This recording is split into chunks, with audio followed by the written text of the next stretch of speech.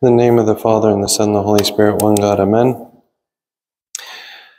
So I think what's been on everybody's mind and thoughts is uh, the war going on in Israel and Palestine. Right? It's all over the news and the media, um, and it's you know the sites and the, the clips and the and the statistics that are coming out of the number of dead, the number injured, the number who are in danger.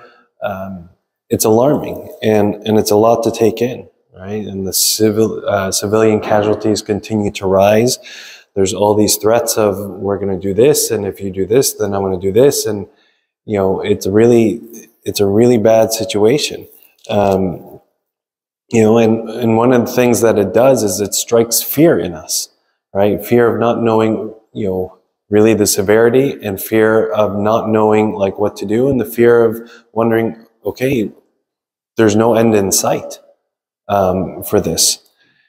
And we're always asking ourselves, well, what comes next? Um, you know, what do we do? And there's an overwhelming sense of helplessness that's associated with this. And and the war in Israel and Palestine right now is one of many ugly situations within the world. It's not the only one. It's taken like, you know, center stage, but it's not. It's accompanied by so many different situations around the world that leaves us wondering like, well, what can I do? right? And and we go through the normal things. If if you have friends or relatives or know of people, you're calling them, you're checking on them, uh, you're seeing what's happening with them. We watch the news, and the news like only feeds our anxiety and our worries. And and in some situations, we offer assistance in in whatever way that may look like. But at the end, we're still here, right? At the end, we're still unable to do much for what is happening over there. And what we often, what our minds gravitate to and our hearts gravitate to is healing, right? And any assistance that we want to offer is an assistance towards healing. We would like to see things get better. And that's the story of today's gospel. Right? Today's gospel is a story of assistance and healing. And it's a story that, that many of us are familiar with, where the Lord was preaching, likely early on in his ministry, and people were beginning to gather. And these four um, individuals, these four men, brought somebody who was a paralytic. So they brought him on a bed or a stretcher or some sort of device at that time, which um, was probably difficult to maneuver. And, and wherever Jesus went, there were always difficult crowds, all right? A lot of crowds, a lot of people coming. And he, he was preaching in houses, right? And it's, I mean, it's, it's wild to think like, okay, the creator of the world, what was his platform? Someone's home, right? Someone's home. That's where he spoke from. That's where he taught from, um, especially early on in his ministry. Um, and these four individuals are bringing this paralytic man to him, but don't know how to get to him. And eventually, they make their way up to the roof. And, and in, in those days, the houses, they had stairs on the side uh, because they, they, they used the roof. Um, and they, they made it through and they broke through the roof. And then they lowered the man through, right? Not an easy feat. In today's world, definitely not an easy feat at that time, right? It's only a feat that is accomplished by a true desire and love for your fellow man, right? What they accomplished and the position they put this paralytic man in is something that is accomplished only by the desire of love that you have for this individual. Right? That's what pushed him through. And when we look at you know how this unfolds, Jesus says something very clear. And he says, and Jesus, seeing their faith, this is after he's lowered, lowered down, And Jesus, seeing their faith, said to the paralytic, Son, your sins are forgiven you. Right? Seeing their faith, he says to the paralytic, Sons, your, your son, your sins are forgiven you. Right? While our faith is very personal, it contains a great potential to do positive things, loving things for those around us. Right? While our faith is very personal, it contains a potential to influence and do something amazing for those around us. Right? But what fuels that is the personal relationship that we have with God. Right? It fuels our ability and our drive and our passion to serve others. Right? And it's in this in the story that we see, okay, it's the faith that these four have for this man that if they brought him to Jesus, that healing would happen. It's their faith, right? Jesus is still new, the ministry is still new. There's a lot of like questions, but for some reason, from what they've heard and what others have experienced of Jesus, they believe that if we brought him to Jesus, that a healing would happen. Right? So the faith fuels our service to others. And it's not surprising that when we act on our faith, that when we allow it to dictate our actions, when we allow it to push us to serve others, to sacrifice for the other person, that we are often left feeling fulfilled. We are often left feeling uplifted when we sacrifice for others, when we do something, when we bring somebody to Christ, or we bring Christ to them, whatever the situation may be. But when that happens, we are left inside being filled. We are left being satisfied. We are left having a greater sense of purpose and meaning. And it's not surprise, it's not a surprise that we experience this. The number of times where I've spoken to somebody, I've been away from church, been away from church, or I've even been in church, but not really active in church, and I'm just doing things in the humdrum of life, and then all of a sudden they like do a service, and they feel like, oh, Something has been missing from my life. It's not a surprise that an individual experiences this. Why? Let's look at what St. Paul said in 2 Corinthians. For we are to God the fragrance of Christ among those who are being saved and among those who are perishing. Right? So we are to God the fragrance of Christ among those who are being saved and among those who are perishing. In our service and love to others, we step into our sonship of God. When we look at the relationship between God and Christ here on earth, God the Father and God the Son, right? What did the Son always say? I'm here to do the will of the Father. Right? Well, when we look and say, well, what's the will of the Father? What was Jesus doing? He was going around. He was serving. He was sacrificing. He was healing. He was doing all these different things. He was living for others, right? He was enduring for others.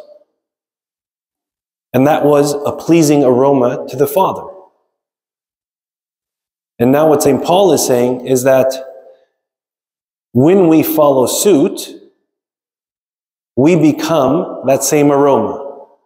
We become something that is pleasing to God.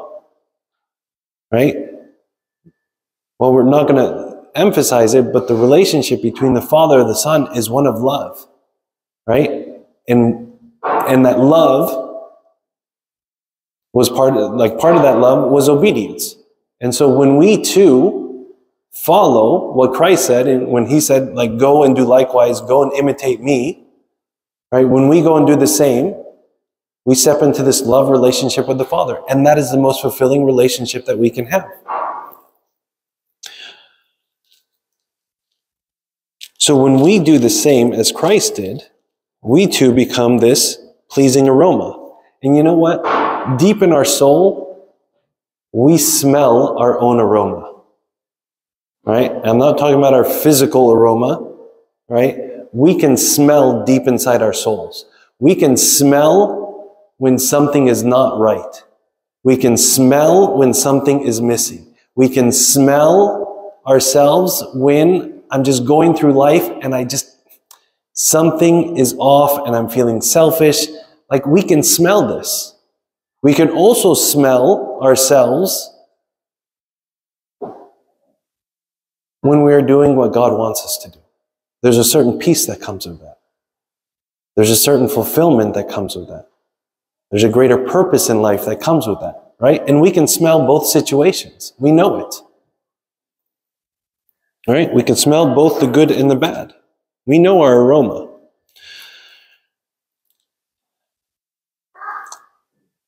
But what we need to be asking is that, okay, we know what God, what Christ did when he did on this earth.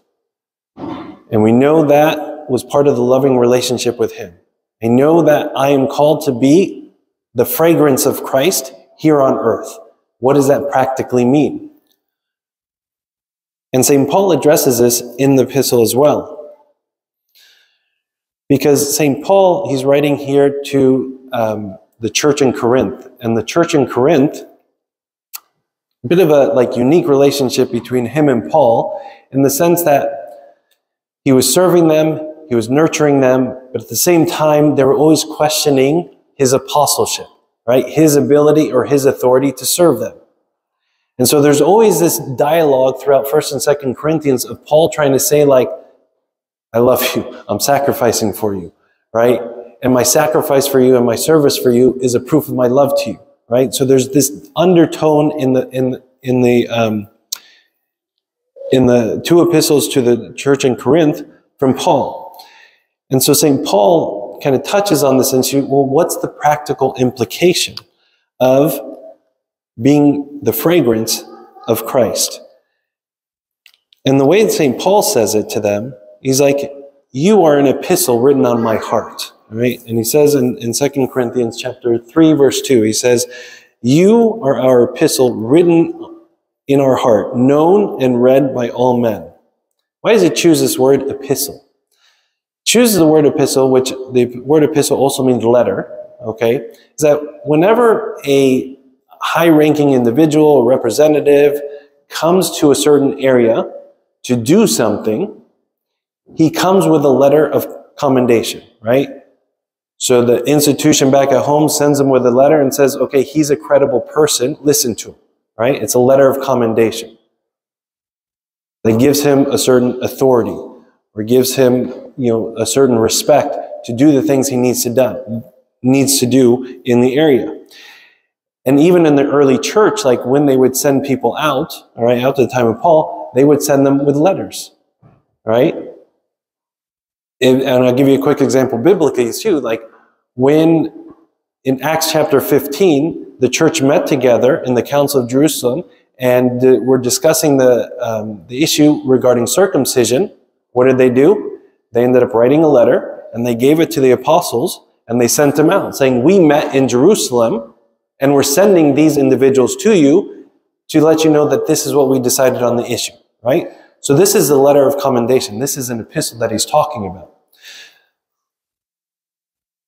And St. Paul is talking with them, and he's saying, like, look, I didn't come with this letter.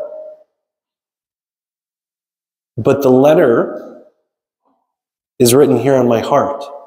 And you can see it in the service that I'm offering to you. You can see it in the sacrifice I'm making. You can see it in the way that I'm living because I'm not asking you for money. I'm preparing my own like way of living, right? Which is difficult, but I'm also like, I'm serving you, I'm teaching you, and I don't want anything in return, right? He's got nothing in it other than they know Christ. Said, that's the epistle.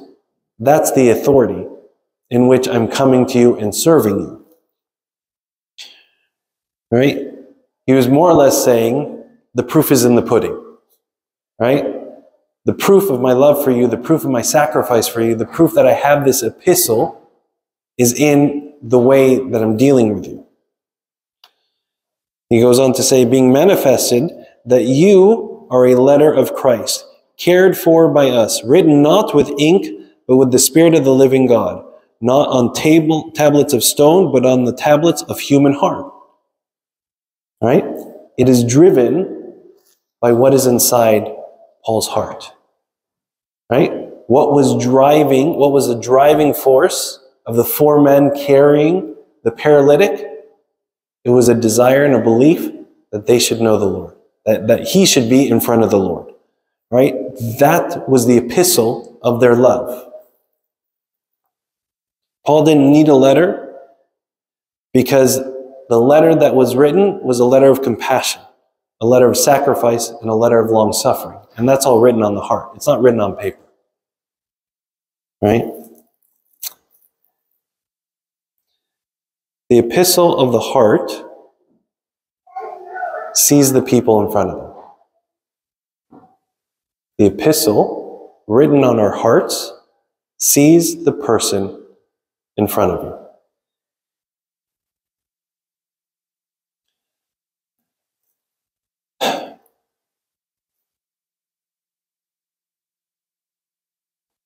When we struggle with what to do with what's happening in the world, with Palestine and Israel and all the different you know, catastrophes and, and horrible situations that are happening across the world.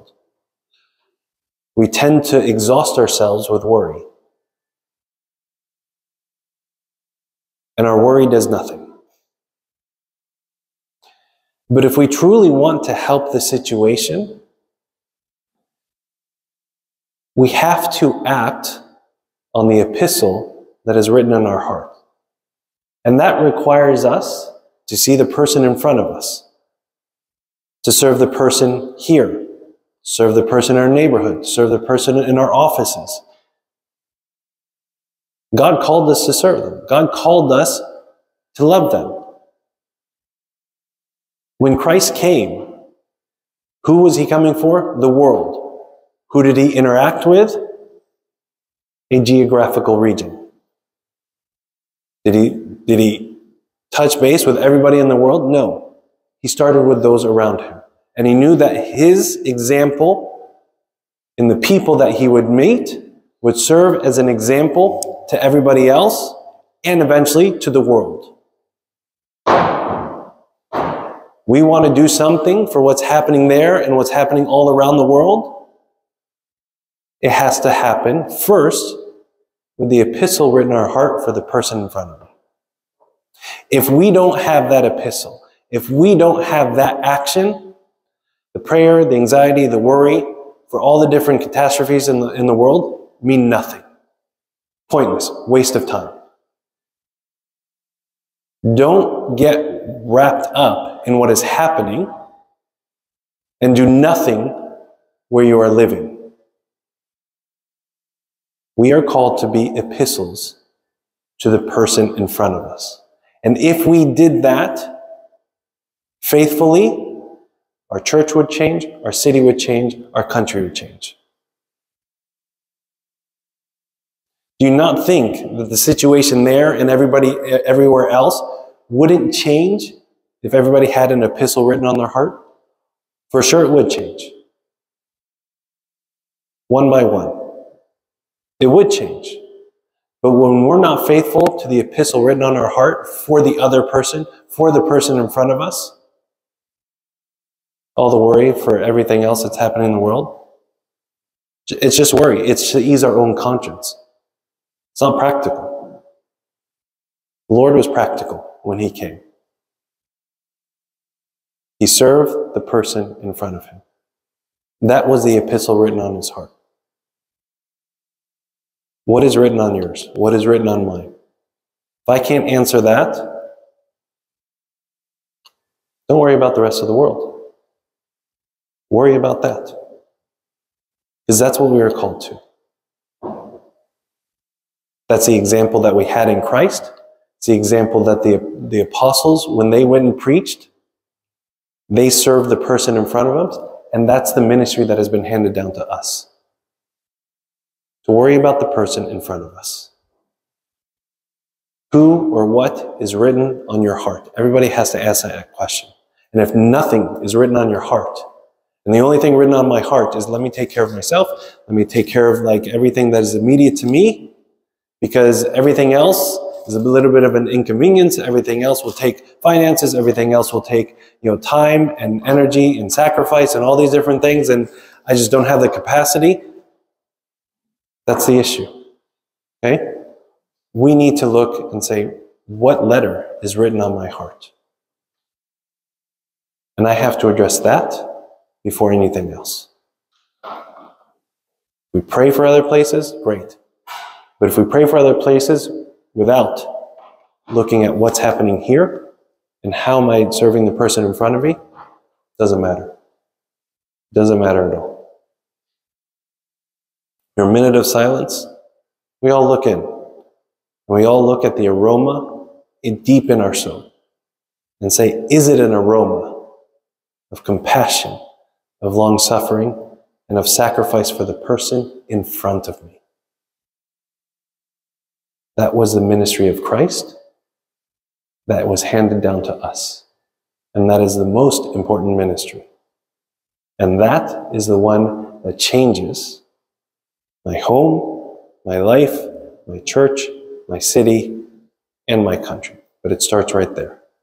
And glory be to God forever. Amen.